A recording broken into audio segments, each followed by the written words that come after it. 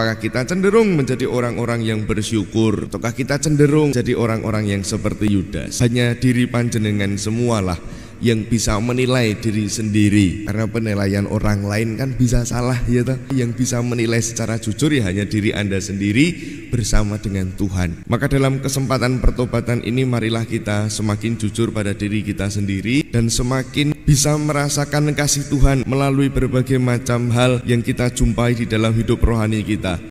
Ya Tuhan, adililah mereka yang merugikan daku, perangilah mereka yang memerangi aku, Angkatlah senjata dan perisai dan bangkitlah membantu aku. Ya Tuhan sumber selamatku. Dalam nama Bapa dan Putra dan Roh Kudus Amin. Tuhan sertamu. Selamat pagi berkah dalam Mari kita siapkan hati kita agar kita pantas mengikuti perayaan Ekaristi pada pagi hari ini Marilah berdoa Allah Bapa yang kekal dan kuasa Engkau telah mengutus Yesus Kristus ke dunia untuk melaksanakan karya keselamatanmu. Ajarlah kami untuk semakin mengimani bahwa dalam sengsaranya Engkau mengampuni dan menebus kami. Dengan pengantaraan Yesus Kristus Putramu Tuhan kami, yang bersama dengan Dikau dalam persatuan Roh Kudus hidup dan berkuasa, Allah sepanjang segala masa. Amin.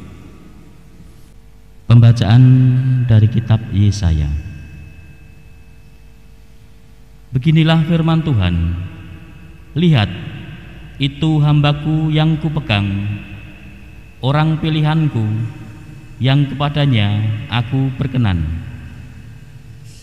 Aku telah menaruh rohku ke atasnya Supaya ia menyatakan hukum kepada bangsa-bangsa Ia tidak akan berteriak atau menyaringkan suaranya atau memperdengarkan suaranya di jalan. Buluh yang patah terkulai tidak akan diputuskannya dan sumbu yang pudar nyalanya tidak akan dipadamkannya. Tetapi dengan setia ia akan menyatakan hukum. Ia sendiri tidak akan menjadi pudar dan tidak akan patah terkulai sampai ia menegakkan hukum di bumi. Segala pulau mengharapkan pengajarannya. Beginilah firman Allah, Tuhan yang menciptakan langit dan membentangkannya, yang menghamparkan bumi dengan segala yang tumbuh di atasnya, yang memberikan nafas kepada umat manusia yang menghuninya dan nyawa kepada mereka yang hidup di atasnya. Aku, Tuhan, telah memanggil engkau untuk maksud penyelamatan.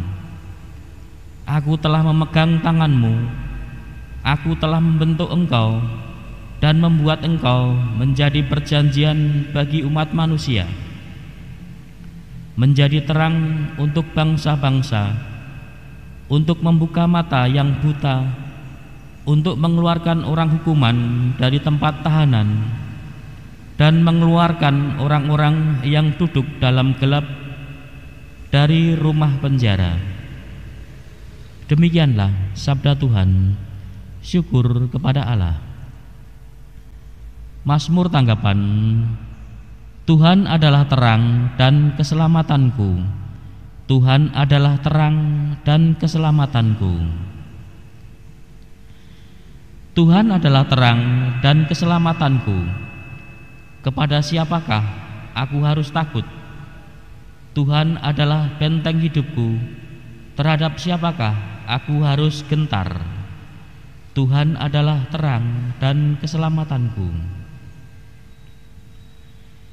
Ketika penjahat-penjahat menyerang untuk memangsa aku, maka lawan dan musuh itu sendirilah yang tergelincir dan jatuh. Tuhan adalah terang dan keselamatanku.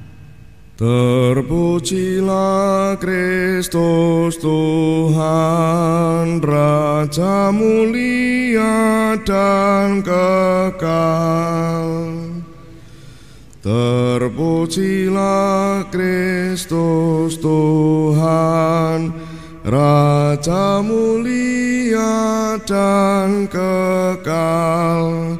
Salam ya Raja kami, hanya engkaulah yang mengasihani kesesatan-kesesatan kami. Terpujilah Kristus Tuhan, Raja mulia dan kekal. Tuhan sertamu. Inilah Injil Tuhan kita Yesus Kristus menurut Yohanes. Enam hari sebelum Paskah, Yesus datang ke Betania, tempat tinggal Lazarus yang ia bangkitkan dari antara orang mati. Di situ diadakan perjamuan untuk dia. Marta melayani dan salah seorang yang turut makan dengan Yesus adalah Lazarus. Maka Maria mengambil setengah kati minyak narwastu murni yang mahal harganya lalu meminyaki kaki Yesus dan menyekannya dengan rambutnya. Dan bau minyak itu semerbak memenuhi seluruh rumah. Tetapi Yudas Iskariot, seorang dari murid-murid Yesus yang akan segera menyerahkan dia berkata, Mengapa minyak narwastu itu tidak dijual 300 dinar dan uangnya diberikan pada orang-orang miskin? Hal itu dikatakannya bukan bukan karena ia memperhatikan nasib orang-orang miskin, melainkan karena dia adalah seorang pencuri. Dia sering mengambil uang yang disimpan dalam kas yang dipegangnya. Maka kata Yesus, "Biarkanlah dia melakukan hal ini, mengingat hari penguburanku, karena orang-orang miskin selalu ada padamu." Tetapi aku tidak akan selalu ada pada kamu.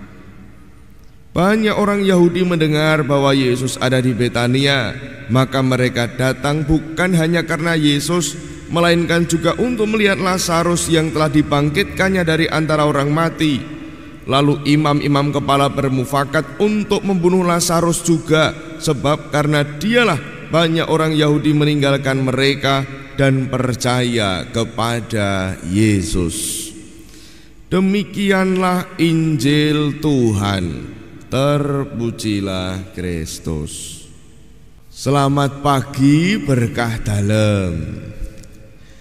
Kita bisa belajar dari dua sosok yang digambarkan dalam bacaan Injil pada pagi hari ini yakni dari Marta dan juga dari Yudas.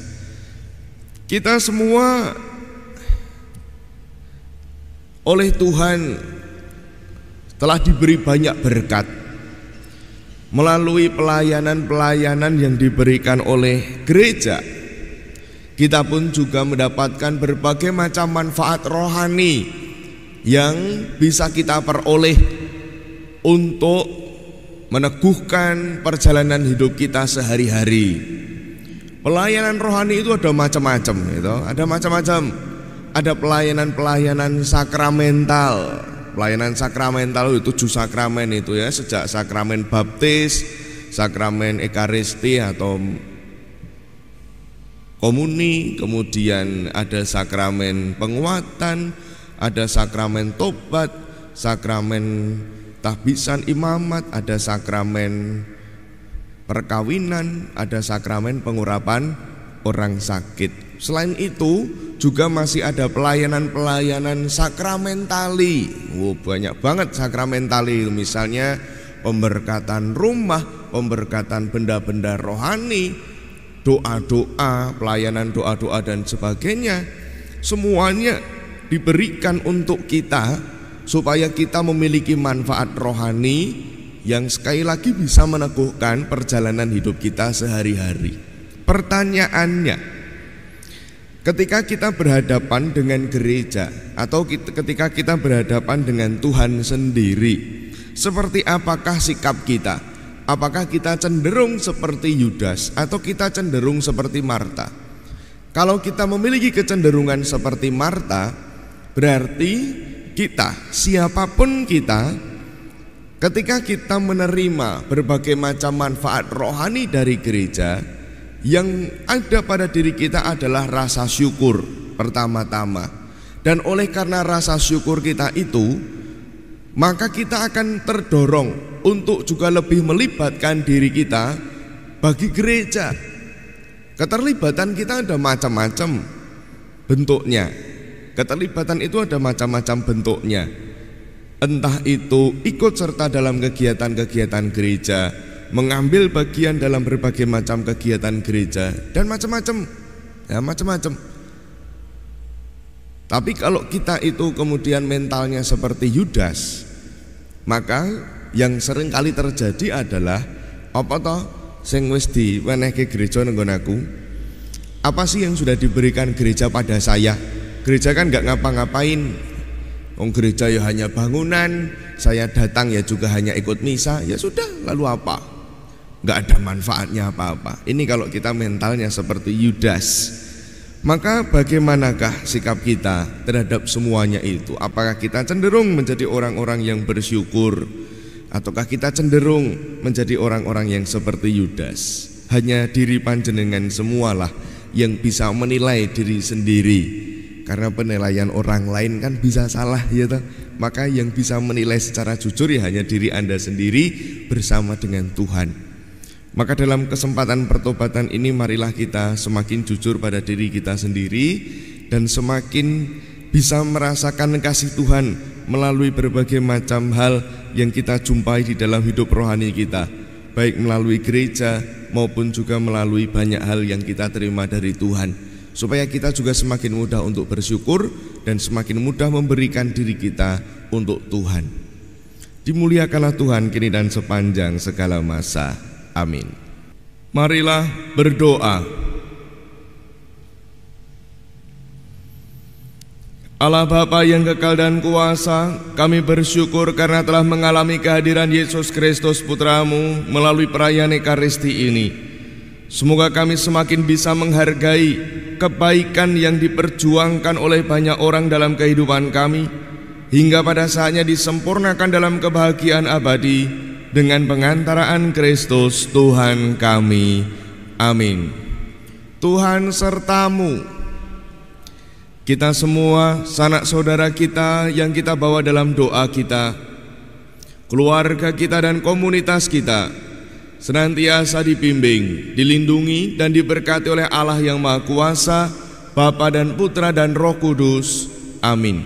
Dengan ini perayaan Ekaristi kita telah selesai. Mari kita pergi, kita diutus. Amin.